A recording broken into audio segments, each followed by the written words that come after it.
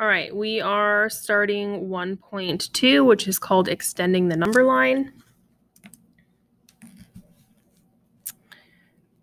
So first we're going to start with vocabulary. So go ahead and get all this written down. I did fold my paper in half so you can kind of see the, the line there a little bit. If you would like to draw a line, that's fine. Um, so the first one is rational numbers, which are uh, numbers that can be expressed as one integer a, which is like italicized, a divided by another integer b where b is not zero. Um, so basically it would look like this. A fraction. um,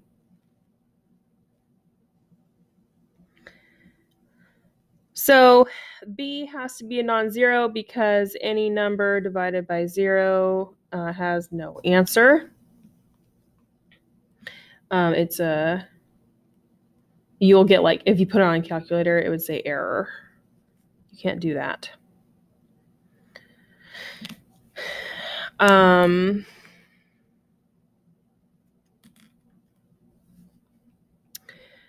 and then we have a negative number, um, which is a number that is less than zero. So, like in money,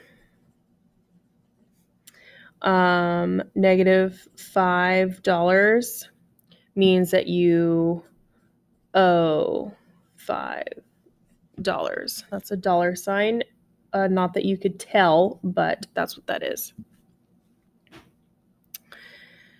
Um, and then the opposite of that would be a positive number, which is a number that is equal to or greater than zero.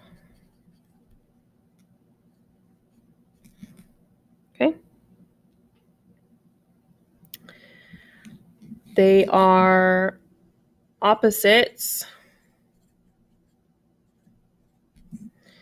because they are the same distance.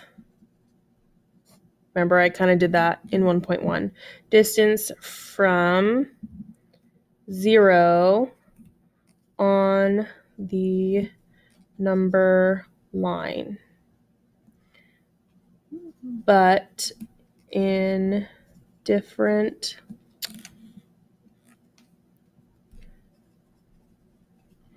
directions. Okay, so for example, if I have a number line here, zero, I'm going to take positive five and negative five. Okay. They are the same amount of bunny hops away from zero in either direction. Five this way, five this way. It's just that negative five is to the left of zero and positive five is to the right of zero. Okay, they are opposites. Um, and those these are integers, positive, ne- negative numbers. Those are integers. So I'm going to turn the page because I'm running out of room.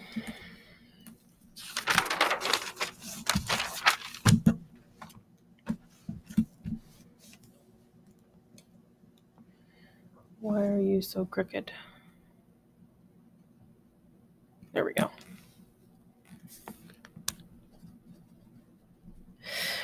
Um, it says, where are the following pairs of numbers be located on the number line? I'm on the next page.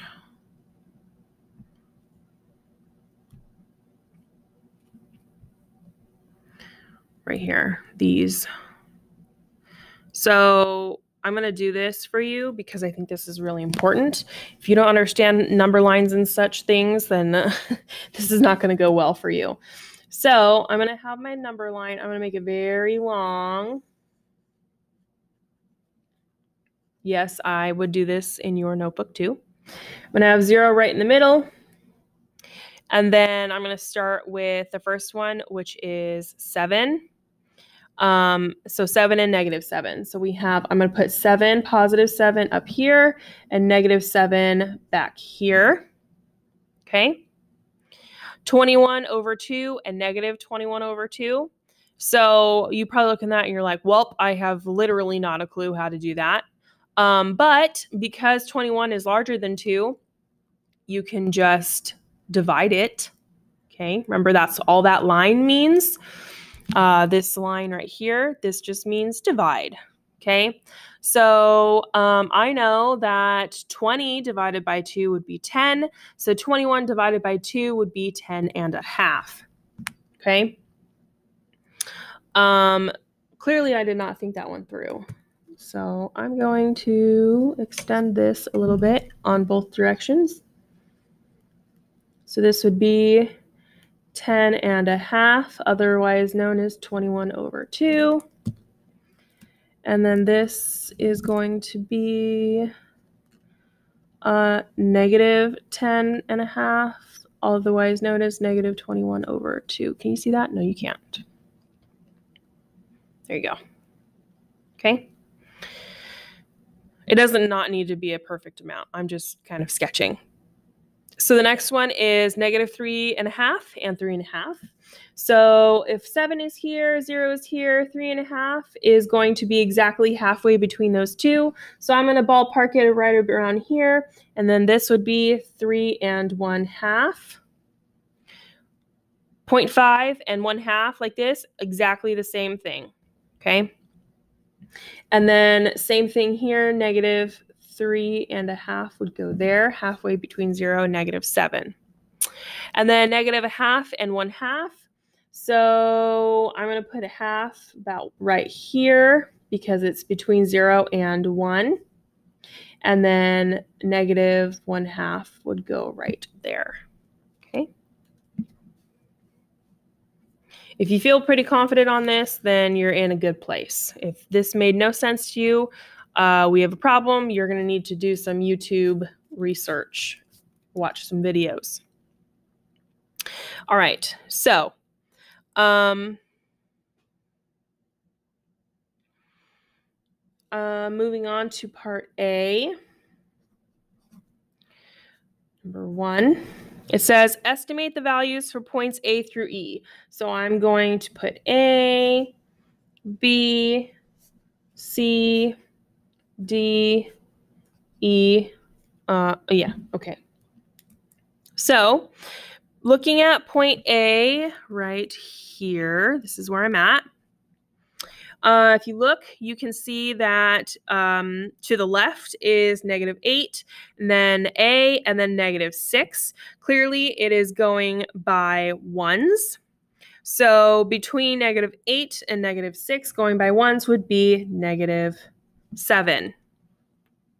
Uh, feel free to pause this video at any time. It would be really nice if you could try to fill these in on your own and then watch the video and then kind of catch up with me. Um, then we have uh, part or uh, point B, which is sitting right on negative 4. So that is going to be negative 4. C is sitting between negative 2 and the line that would count for negative 1. So it's going to be negative 1.5. Now, I could imagine that you would get really confused on this part, okay? Because you would look at that and you would want to say negative 2.5. But you have to remember the bigger numbers are going this direction. So negative 2.5 would actually be right here. Okay, so this is between negative 1 and negative 2. It is not quite negative 1, but has not quite reached negative 2 yet either. So uh, it's going to be negative 1 and a half. Okay. Um, D is between positive 4 and positive 5. So it's going to be 4.5. And then E is between positive 6 and positive 7, but it is clearly closer to positive 7 than it is to positive 6. So we're going to say positive 6 point, we'll say 6.8 approximately. If you want, you can do the approximately lines that are two squiggles like that. Okay. Uh, number two. For each value you estimate in part one, state the numbers opposite. So if this is the number for A, the opposite of uh, negative 7 would be positive 7. Opposite of negative 4 would be positive 4. Opposite of negative 1.5 would be positive 1.5. Opposite of positive 4.5 would be negative 4.5. And the opposite of approximately positive 6.8 would be negative 6.8.